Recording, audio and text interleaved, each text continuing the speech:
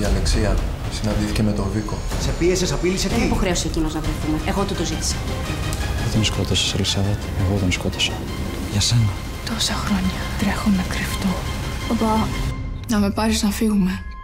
Μαύρο Ρόδο. Απόψε στις 11 παρα 10 και κάθε Κυριακή με πέμπτη βράδυ στο Μέγκα.